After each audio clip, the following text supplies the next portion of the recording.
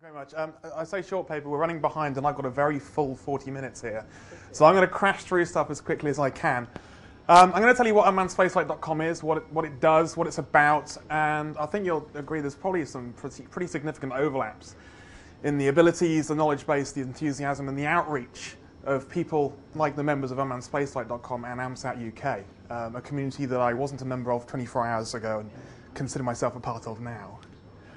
This is the website. Some of you may or may not have, you know, may have seen this. Um, what it is is a normal forum. You don't have to register to view it, but you do have to register to contribute. And it discusses most of the unmanned spacecraft that are out there exploring the solar system. Now, it's not a tirade against manned spaceflight. I'm a big fan of manned spaceflight. It's just an appropriate title to talk about the Mars exploration rovers, Mars Global Surveyor, Mars Odyssey, Cassini, New Horizons, all these missions that are out there exploring the solar system, and the important thing being taking pictures and sending them back to the to, the, to the, the world and chucking them on the web so that enthusiastic amateurs can have a look at these pictures and do something interesting with them. The website's been going about five years. June last full month, about 28,000 unique visitors, but only 2,000 members, of which about one in 100 are kind of really significant contributors. So we have an epic lurk to contribution ratio, which probably says something about the quality of the stuff that people are coming up with. This line at the bottom here, uh, someone classified me as the self-appointed dictator for life of unmannedspaceflight.com, which to save time, I'll just call UMSF. And it's, it's, it's a half-truth. Um, I have great help from a team of admins who are far more grown up and sensible than I am, and who fortunately kind of cover the globe in a forum administration DSN kind of, kind of way if you think of kind of Mars or spacecraft and forum and internet, you immediately think of crazy, kooky, Psionia, anomalistic rubbish. And there are very few places where you can go to talk about the real stuff going on without that getting in the way. So if you come to this forum and say, I've, this is, here's a picture, I think this is a skull on the surface of Mars, we'll delete your post, delete your account, and ban your IP address. Because this is not the forum for you. Go somewhere else. But as a result of that, because people know that rule's in place, we just don't get that stuff arriving. We actually very rarely have to do that sort of administration. And because of the environment it produces, we have rover drivers, we have scientists from New Horizons, we have scientists from uh, Cassini, we have engineers from ESA, all visiting and contributing on a regular basis, which is a pretty unique state of affairs, I think you'd agree. It started back in the beginning of 2004 when Spirit and Opportunity landed on the surface of Mars and Steve Squyres, the principal investigator, and Jim Bell, the head of the PanCam color camera on these rovers, agreed to put every single image taken by these two rovers, more than a quarter of a million to date, online the moment they could get them. So at the JPL website, you'll get thumbnails like this. If you go to a website called the Exploratorium, it's an educational museum based out of San Francisco. You get directory listings like this. These file names actually mean something. They can tell you about when the image was taken, what rover took it, which camera, etc., etc. And I couldn't help myself because I'm a bit of a Photoshop weenie. I love this sort of stuff. So I was thinking, oh, here's, you know, here's three images that make a color sequence, red, green, blue, Photoshop, color picture. Here's a whole string of these things, I'm putting mosaics together. And I started this forum to share that sort of creativity. And very, very quickly, I found that other people were far better at doing this than I was, and I started producing mosaics like this. Now, it's worth noting that the imagery that goes online is uncalibrated, and it's heavily stretched, and it's heavily compressed. So there's two rows of images here. I'll tell you that if you just saw the top line and then the bottom line of images that made this mosaic, they don't match. It's a lot of work, a lot of creativity to get these images to match and produce one continuous mosaic like this. This is another one. Uh, the color's not quite right here. Somehow the projector's making things slightly green. This by a guy called James Canvin. He works uh, down at the Met Office down in, uh, in Devon, I believe. And again, this is from raw, uncalibrated, stretched JPEGs. He's written his own software that turns these things into RGB and then calibrates them all together to get one continuous mosaic. You don't have to be particularly scientific about this. This is an image that was never ever taken, essentially. It's a series of wide-angle black and white frames that were done as a cloud observation, and they stitched together quite well. And another series of black and white frames that were looking at the terrain below. And using a piece of software I'll show you in a minute called Midnight Mars Browser, we know how these two sets of images relate to one another, and so someone put them together as a single mosaic. Somebody else thought, that's nice, I'll colorize it using the color data we've got from PanCam. Someone else thought, that's nice, I'll fill in the gap, and then we've got one gorgeous picture that shows the clouds, the horizon, and the terrain, and this image has made it to Astronomy Picture of the Day and various other places. A sense of scale can be pretty difficult to gauge if you're looking at pictures from another planet. And so one guy in the forum has a penchant for giving these people a kind of a third person perspective. So here is an artist's impression of opportunity sat in a picture taken by opportunity studying its own heat shield. Six months after images are taken, in three months chunks, in arrears, uh, the science teams chuck all their calibrated data onto the PDS, the Planetary Data Service. It's epic quantities of calibrated data. These data sets are absolutely huge. One guy, Dan Crotty, a programmer from San Francisco, has made his job that every time this new release happens, he downloads every single piece of data, and in every single kind of red, green, blue, or near infrared, green, blue, near ultraviolet, all these various filters that are used by PanCam, he produces his best effort of a real color picture, a true color image. And he hasn't done this once or twice, he's done this 16,000 times, so that every single color observation by Spirit and Opportunity are on there on his website. And they all mosaic perfectly now. Not the stretched JPEGs that go on the web immediately, but because these are calibrated images, they mosaic together absolutely perfectly. One exercise he did was to take the northern rim of Victoria Crater. This is an 800 meter wide crater the Opportunity spent two years to get to and a year exploring the northern rim. Every marker point you see here is another large postcard, typically four or five frames across, two frames tall, perhaps 8 to 15 megapixels of imagery. And he's made the calibrated mosaics for every single one. So on his website, you can roll over these points, and as you roll over, you get the calibrated mosaic, the location it was taken from, and the field of view. It's a fantastic way of seeing all these capes and bays of rocks jutting out from this northern rim of this rather large crater. Dan's also has a, a great way of looking for movies. The rovers don't have movie cameras, they just take still pictures.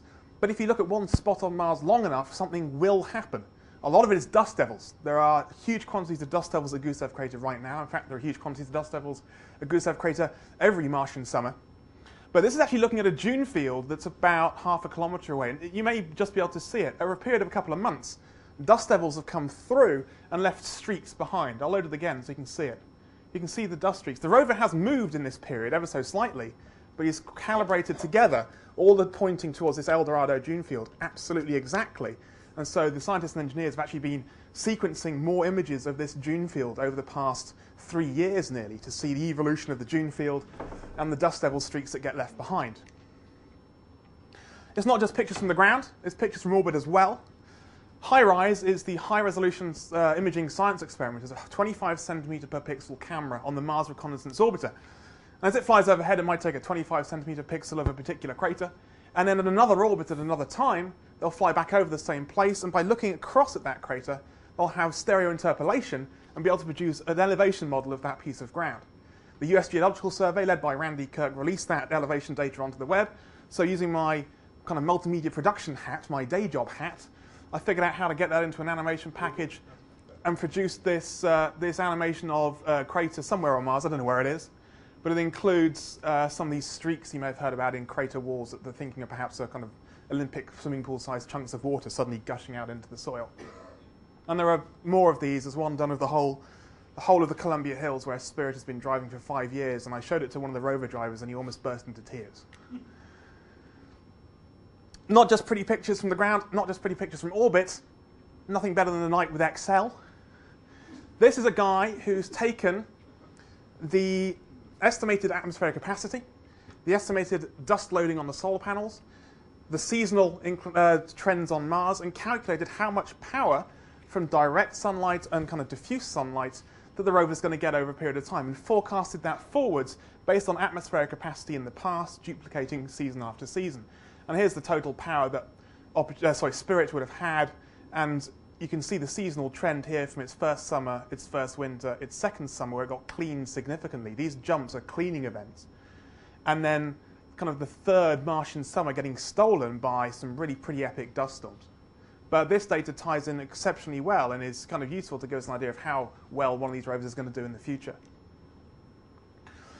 One guy has produced a whole bunch of web pages there's a list of them at the bottom here, Rosetta, Messenger, New Horizons, and they're essentially calendars. They tell you what these spacecraft are doing, what time it is for that spacecraft. So I've grabbed a piece of it and it's now on my dashboard on my Mac. I can see exactly what day it is for Spirit, what day it is for Opportunity, what local time it is. And I know that if it's getting to some 8, 9, 10 o'clock in the evening local time for one of the rovers, it's time for me to start checking the JPL website to see if there are any new pictures to, to enjoy. And he's done the same thing for various spacecraft, and especially if there are pretty unique events like the Phoenix landing. During the Phoenix landing, he actually had a website that was counting off all the critical events how long till a parachute deploys, how long till the heat shield's thrown away, how long till the thing lands, all counting down in real time. Another chap took the Phoenix entry, descent, and landing data, which was uh, a SPICE kernel essentially, but with some accelerometer data added in, and turned the whole thing through POV-Ray into an actual accurate animated kind of telling of what Phoenix did during its final 40 cent landing on the surface of Mars. This is accurate. And not only is it accurate, if you now go back and listen to the audio from Mission Control at the time it landed, you can play that at the same time, and you get to see what they couldn't. They were just guessing in the blind from data, and you can see he's saying, you know, gravity turn detected, and you can see the spacecraft, suddenly the, the spacecraft starts rotating. And touchdown happening exactly on time. I beg and beg this guy could, to go and do the same thing for Spirit and Opportunity because they didn't land like this. They landed surrounded by airbags and bounced and bounced and bounced across the surface, and the same principle would work. The Beagle 2 viewing guide. This is um, kind of slightly sick in some ways. It's HiRISE now being uh, taking amazing pictures of the surface of Mars at 25 centimeters per pixel. The question is, can it find any impact debris or wreckage of the Beagle 2 lander? And I wanted to figure out just how good HiRISE would be at seeing human detritus sat on the surface of Mars. So I found some little 3D models of various spacecraft and emulated the resolution that HiRISE got at kind of 2, 3 o'clock local time, which is what the lighting conditions are when HiRISE sees something.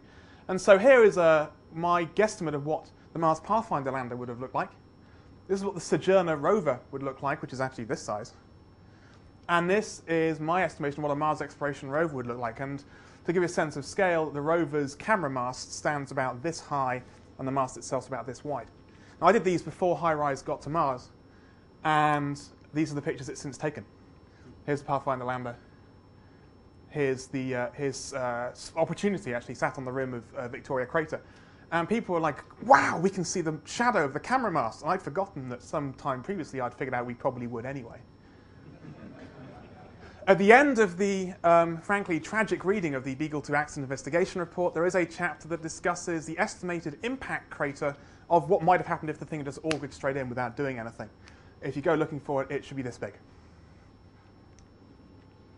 Backseat driving. Um, you may have read, if you follow these two rovers, that Opportunity has recently set out from Victoria Crater on another two plus year, 15 kilometer journey to an even larger crater that's to the southeast of where it currently is. And whilst the rover driving team can't say, help us figure out the safe way to go, they may have said, you know, how navigable do you think this terrain is based on HiRISE pictures? And so people have used Photoshop or GIMP or their own image processing software they've written themselves to do analysis automatically of HiRISE pictures to figure out how traversable this terrain is. Once again, James Canvin comes to the fore green is nice and easy parking lot, red has got some nasty sand dunes in it. You can go back and correlate how well he ranks this as for drivability back in kind of rover history, and it ties in superbly. And so the rover drivers are currently picking their way through this sort of stuff up here, avoiding the worst of the sand dunes, finding the parking lot type driving terrain. Once the rover's back out here, it'll be foot to the floor, and Endurance Crater will be here sooner than we think. Midnight Mars Browser is kind of the ultimate bringing together of all the different abilities and all the imagery we can get a hold of. It's a piece of software that you can download for Mac or PC completely free. And it's written by a guy called Michael Howard. He's a programmer in the States. And I felt kind of left out of it and didn't have my own sort of block diagram. So here we go. Midnight Mars Browser, you, you install it in your machine, you say update. And what it will do is grab the most recent images from Spirit and Opportunity. And if they're at the JPL website first, it'll get it from there first. If they're at the Exploratorium, it'll get them there first. Once it's got all those raw JPEGs, it knows what that JPEG is about based on the file name, when it was taken, what filter it was taken with, which camera and a stereo pair it was taken with. And so it'll go away and automatically generate its best false color and its best stereo anaglyph for every single observation. The whole lot. All of them. Cornell University, who are the lead scientists for the Mars exploration rovers, maintain a database that has uh, the rover location, rover orientation, anytime any image is taken. And we don't want to hammer this thing directly, so what Mike does is ping the database for the information he needs, turns it into an XML file that he hosts on his own web space, and then the next time you hit command and update, you get the rover location and the pointing information for all the images he downloaded the day before. And as a result, he can now reproject those images back into 3D space. And so you see Mars from the rover's eye view. Six months later, Dan Crotty comes along with his 16,000 calibrated PanCam observations, and they feed forward into Midnight Mars browser as well, replacing the false color pictures generated on the day-by-day basis. And if you really want to fill your hard drive, and I have, you can download the PDS data that's the calibrated data. And the, the, the point of that is to get the PanCam images when they haven't taken a color image, or the wider navigation camera black and white data, so the things mosaic perfectly and they're all calibrated to one another. It all strings together in an application like this. I, will be leaving about five. If you want to hunt me down and have a play with this, please do. It's an absolutely brilliant piece of software.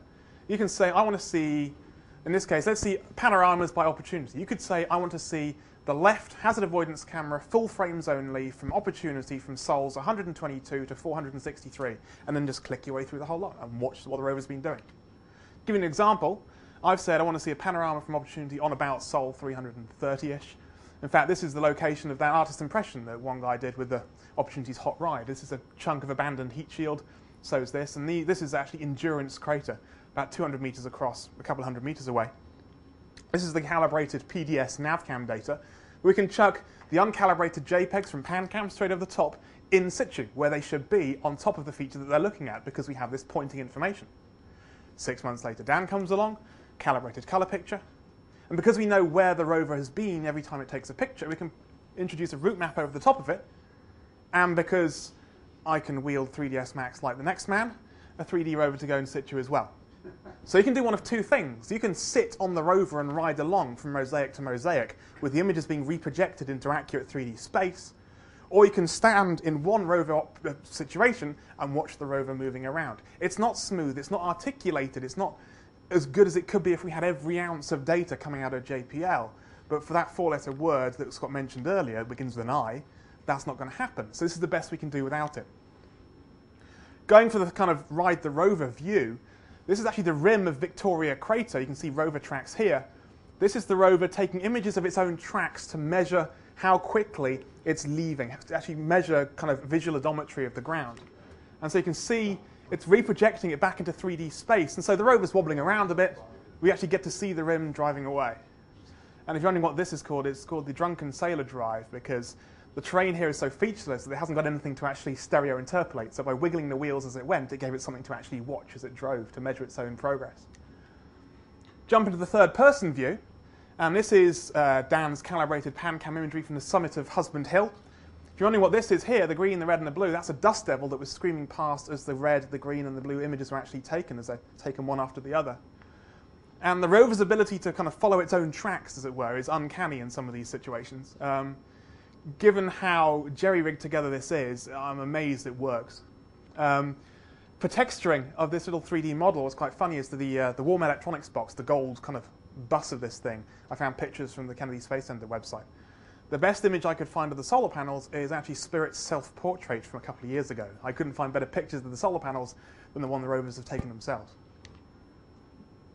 Media. What, what else these, these kind of fellow nutters do this is a mosaic taken by Spirit. It was in fact an accident, this mosaic, but um, one guy put together a rough version of this, and then three of us collaborated and stitched it together, and in some cases cheated a bit. Uh, there are two rows of images here, and actually this low gain antenna should have been completely ripped, but cut it out, moved it, matched it, filled it in with pictures from the other eye to get one kind of continuous, nice, arty impression of the summit of Husband Hill.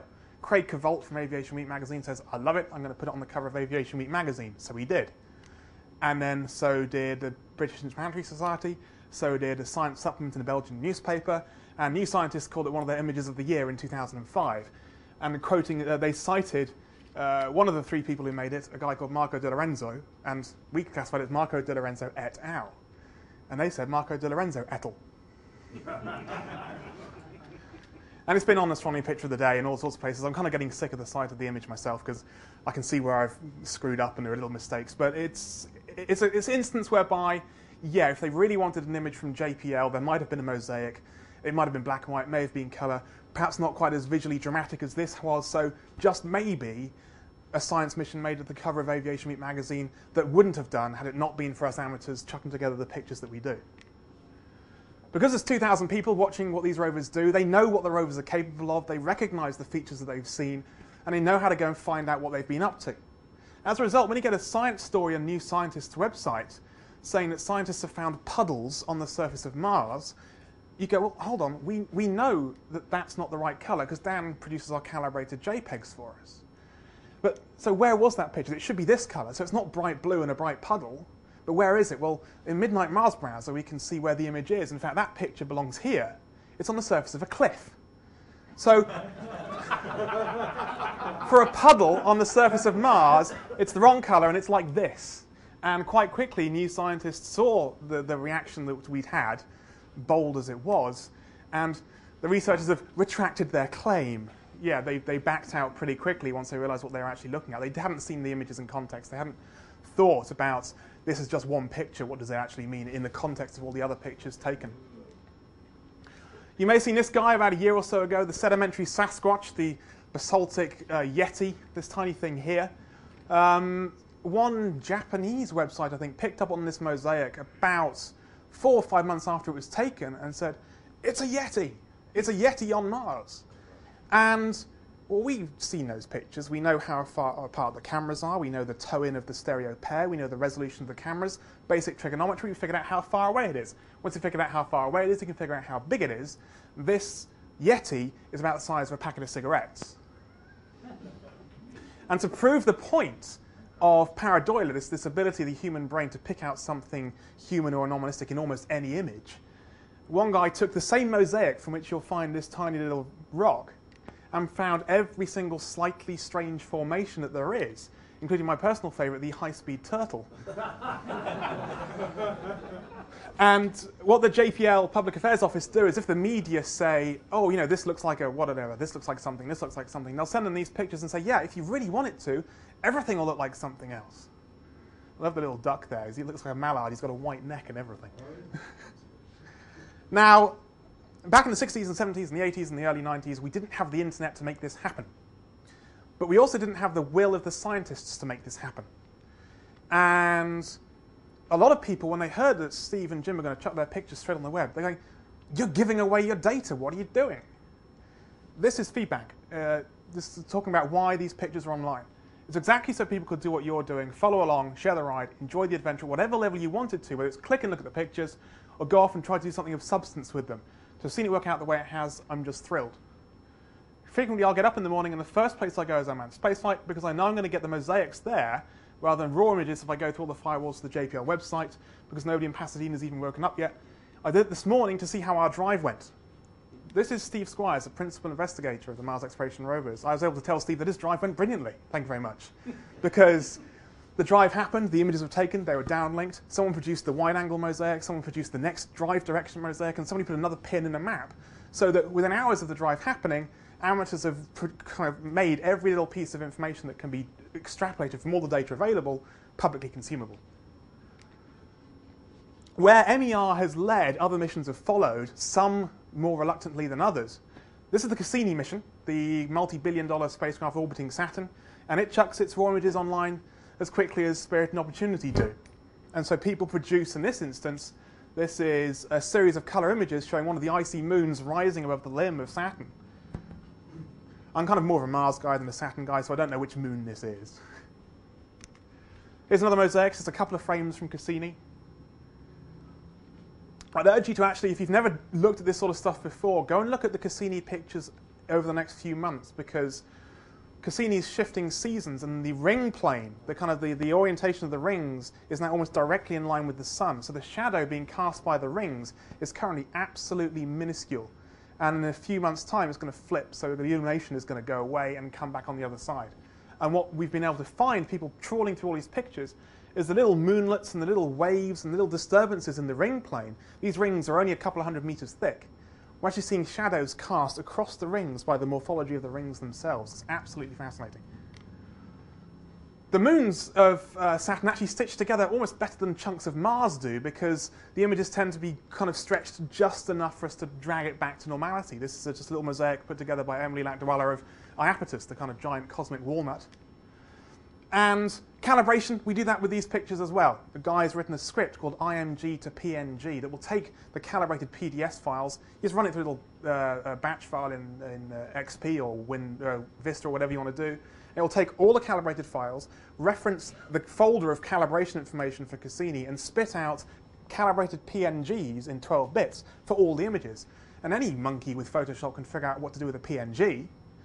So this guy's gone through and produced calibrated images of every single major moon of Saturn, and they're not just calibrated to one, sorry, uh, uh, in, them, in and of themselves. This sequence of images is calibrated in size and in relative brightness. So Enceladus here is the brightest body in the entire solar system. And we'll scroll along, one of the moons almost vanishes. That's Iapetus, almost the darkest body in the solar system. That's Hyperion, and this is Titan, which actually, relative to the other moons, is a pretty murky, dull, dark sort of place. In fact, that Iapetus is caked in bright, shiny ice, kind of makes it stand out like a beacon. Same guy who's produced IMG to PNG. He's also done work with Cassini images, knowing where Cassini is based on published SPICE kernels, knowing the resolution of the camera, etc., etc. He's interpolated multiple observations of this giant crater on uh, Mimas, and has produced an elevation model. And he's actually now producing very, very slowly. He, you know, he's doing the best he can with the time and the abilities he has. He's producing global elevation models of Saturnian satellites based on imagery put online purely on an amateur basis. It's, it's um, I, I, I haven't got a clue how you do this, but he's done it. Phoenix did exactly the same thing. In fact, Phoenix took it up just one notch slightly above the rovers. Uh, Phoenix kind of suffered a bit by being short-lived and not having wheels, so it wasn't quite as exciting to follow along as one of the rovers trundling around. But what they did was put the pointing information, the timing information, in an EXIF header in all of the JPEGs. So if Phoenix had been lasting a little bit longer, we could have tweaked Midnight Mars Browser, so it didn't even have to go and reference this database of, of uh, Cornell. It would just know the information straight in the EXIF headers. And James Canvin, he put mosaics together from Phoenix data as well. What was extraordinary is that I was watching an interview on the sky at night, not long after Phoenix landed. And it was an interview with one of the, uh, the meteorology scientists in the, their big, massive science planning room. And right in the background, behind these guys' heads, I could see on like, like about as far away as the back of this room, I could see a huge printout of a Phoenix mosaic. And I thought, I recognize that mosaic. That's not a Phoenix outreach mosaic. That's James's mosaic. And I double checked and screen grabbed the TV and compared it with James's mosaic, and in fact they had. They'd seen James's mosaic, thought that's damn good, we're printing that out and we're sticking it on our wall. Ultimate testament in some respects. So the, the payback for chucking those pictures out there is that the public are making images good enough that the scientists want to put them on their own wall. Enough pairs of eyes will see anything change. This was the kind of key, kind of wow moment for the Phoenix mission in many respects. This is the same trench dug by this arm on, uh, on uh, days, four days apart. And you can see little white chunks here. That's not a lighting effect. They actually do vanish. That's chunks of ice that have sublimated away. And two people almost simultaneously on the forum said, look, the, the, here's the pictures from Monday, here's pictures from Friday, the ice is gone. And suddenly, you know, the, the Phoenix mission had found the ice it went looking for. And by putting the pictures out there, we'd figured it out for ourselves before they got the press releases out there. Ed and Fergus talked yesterday about the exceptionally cool stuff they do with high altitude balloons. Um, I essentially stalked them for a number of months because I thought it was just so damn cool. And uh, James Coxon, a friend of theirs, who, who, also does this sort of thing himself, um, I was maybe a little bit critical of the pictures he'd taken because they weren't that good. So I said, he, he said, well, if you think you can do better, go on. So here's James's science payload. I put together a, a camera from a, a PowerShot camera using uh, hacked firmware. Some people on the forum figured out the orientation to have the camera to get the best chance of mosaics, to get beautiful views. And we had it taking movies like this up at high altitude. And uh, it basically went movie, pause, still, still, still, still, pause, movie, pause. And it was taking movies about one quarter of the time, so we had a 25% chance of catching the balloon bursting, which we almost did a 25% chance of catching the landing, which we did. And then a couple of days later, these guys say, We're doing another flight. And I'm at work trying to get my job done to avoid getting fired. and I say, Fantastic, when? Tomorrow morning. I've got to go to work. Well, really early tomorrow morning. How about 4 a.m.? And so, oh, sorry, I'm, I'm jumping ahead myself. Um, what we learned with that first flight was that The best mosaics came from taking the movies themselves and actually pulling the frames out to make a mosaic from the individual frames of a movie. So this is showing the kind of sinusoidal swinging of the gondola at 30 some odd kilometers altitude.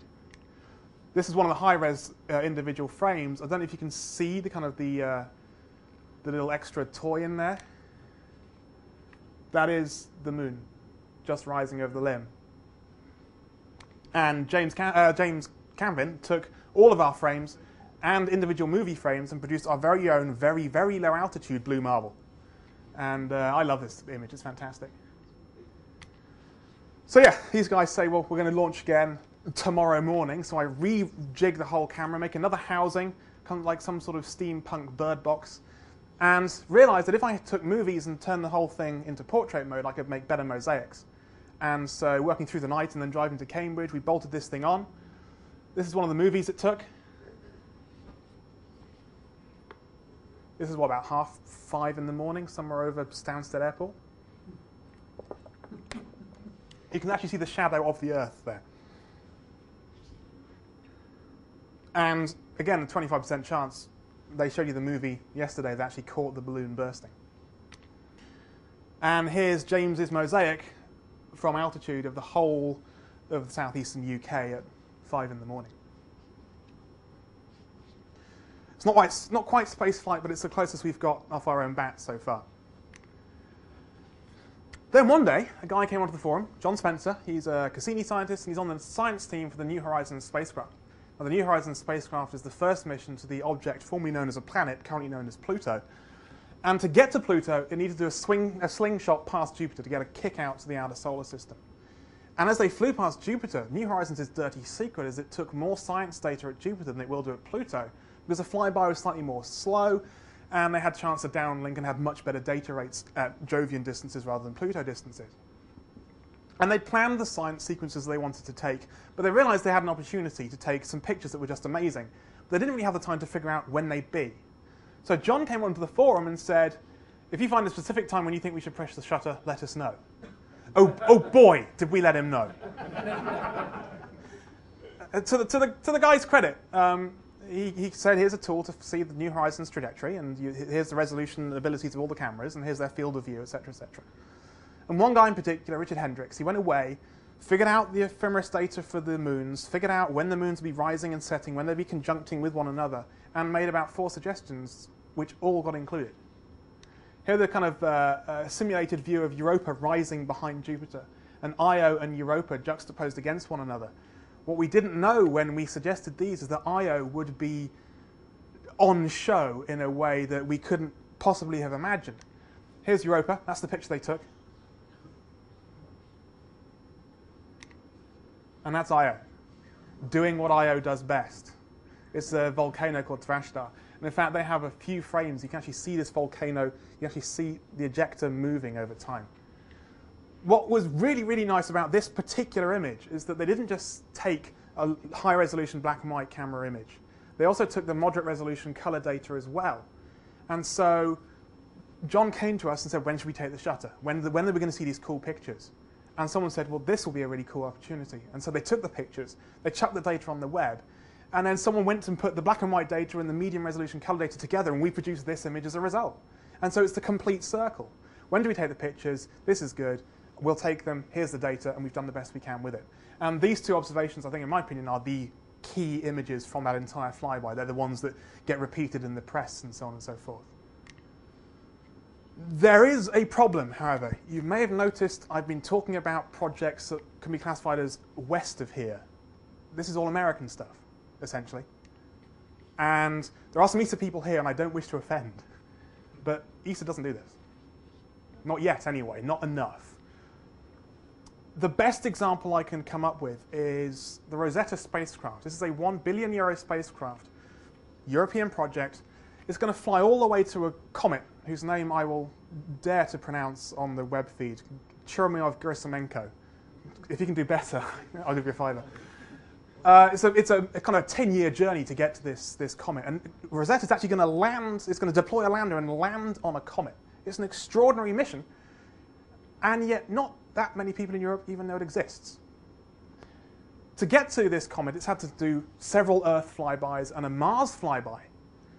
And you can imagine, well, the, the, one of the cameras on Rosetta is this 4 megapixel camera. It's absolutely stunning piece of engineering. Had they come to us like John Spencer did and said, we're doing this flyby of Mars, here's the trajectory, when should we take pictures because they're going to look cool? We'd have got some fantastic suggestions because the departing leg of this flyby had a beautiful crescent Mars. They didn't think to us. This is my artist impression of what it might have been like. Very few people in Europe know about Rosetta. Had they taken an image like this and it made the front or the second page of national newspapers, perhaps a few more people might know that we have a billion euro mission flying to a comet right now. And that's just at a, a kind of a interactive level. Even just chucking their data out there, Europe doesn't get this yet. This is a screenshot of the Rosetta page on the Planetary Data Service, the small bodies node, because it's going to a comet, so it's the small bodies node of PDS. And this is a list of every instrument that's on Rosetta and all the instruments on the Rosetta Lander. This section here is enlarged because it's got lots more links on it. And this is my best list of all the horrific acronyms for most of the instruments on board Rosetta. Some of the instruments on Rosetta haven't, weren't used in these Earth flybys and this Mars flyby, these commissioning and calibration and checkout phases. And what's unique about these things is they take cool pictures, and they have put a few of them online. One image of Mars coming in full on, but to be honest, it didn't look that different to a Hubble picture, or the odd picture of the Earth flyby, but where's the rest of it? Let's look at the, the nationalities of these uh, instruments. Uh, European, American. Alice is run by Alan Stern over in the States. You want to know which instruments have chucked all their data online? Have a bit of a guess? A couple of them? It's just Alice. Uh, Osiris is the amazing high resolution camera. Images of multiple Earth flybys and the Mars flyby, nothing. The, uh, there's a camera on board the Rosetta lander. That's uh, this instrument here. And during the Mars flyby, it took, I know, six images of Mars as it flew past. And they've released one of them. It's a stunning view because the lander is still bolted to Rosetta. It's looking out sideways across the spacecraft. You've got Mars below you and one of Rosetta's solar panels sticking out. It's an extraordinary picture. Where are the other five? But to their credit, the engineers within ESA are beginning to get this. And when I heard news about this, I almost let out a girly scream. This crummy little camera called the VMC, a visual monitoring camera, is on board Mars Express. Here are the specs. Its purpose was to image Beagle 2 as it left Mars Express to make sure it had left, to make sure it was going in the right direction. And for four years nearly, it's been turned off. And perhaps frustrated by scientists not pulling their education and outreach weight, the eh, Mars Express engineers said, maybe we can turn it back on again. Now, you can see it's not the best piece of kit, but it's been taking pictures for about 12 months now. They've been putting pictures straight back on the web. They call it the first Mars webcam. but there was a qualifier. It was, here's the, here's the imagery, but it's the Bayer pattern filter CCD, but we don't have the time to write a piece of software to interpolate it. But here's the raw data. Here's some just chucked out PNGs. And here's a Celestia file, so you know where Mars Express was when we took these pictures. Within 24 hours of that first chunk of data being released, two people independently had written DOS prompt scripts to take that data and produce color pictures like this. And the ESOC guys say, if you can do something cool with these pictures, send them back in, we'll chuck them on our website. And that's exactly what they do. These aren't the greatest science pictures ever taken of Mars. These are very unique global views of the planet. Cracking mosaic here. And this is an animation of multiple frames. This is a cloud dispersing after sunrise. And this picture got sent back to the ESOC guys. The ESOC guys said, that's interesting. They took it through and showed it to some scientists, and the scientists went, that is interesting. And suddenly they're getting inspired to maybe go and look at what we found for them. And some of the processing people are doing with these pictures is extraordinary. And they're putting the pictures back on the ESA website from this Mars webcam. So perhaps it's fair to say ESA doesn't do this enough. But the really heartbreaking thing is that I can prove they're not doing it enough. A science paper published about 18 months ago, a pilot survey of attitudes to space sciences and exploration among British school children. Here are the authors. They interviewed about 200 kids in eight schools in the east of England, and they asked them a couple of questions. This was the third question they asked them. Can you name any organisation from anywhere in the world that carries out space research? Top answer? NASA. Number two answer, don't know. Number three, Russian. Here's the results. ESA barely registered. This survey was done six months after the landing of Beagle 2 and shortly after the landing of Huygens on Titan, and school kids didn't have a clue. This is from the paper. ESA had one more response than Area 51 and two more responses than Men in Black. The British National Space Centre was not mentioned once. Another question they asked, and this is not five, six, seven year olds, this is 13 to 15 year old kids. What do you imagine conditions to be like on the surface of Mars? Now, bearing in mind, Mars is typically, on average, surface temperature 50, 60, 70, 80 degrees Celsius colder than Earth. Top answer hot. So, we have a problem in that the kids around here have no idea what's going on up there. And to give you an example of just how bad this is, Science and Technology Facilities Council do a funding project for education and outreach projects called Science and Society. The small grants project, up to £15,000 for interesting and unique science outreach projects. Typically, they're funding 10 to 15 projects every six months to a tune of about 70 to 100,000 pounds in total. First half of 2009, they've only funded seven projects and a cut of 50% cut on that funding. It's the lowest number of projects ever funded, the smallest amount of money ever funded in the Science and Society small, uh, small projects budget. So the truth is, if kids don't know what's going up there, and the government isn't really paying to help, then it's up to us. And what has made me so very happy coming to my first AMSAT colloquium is just how many projects talk about education and outreach. I think you can all be very proud of yourselves for doing what the professional people aren't really doing enough. Thank you very much indeed.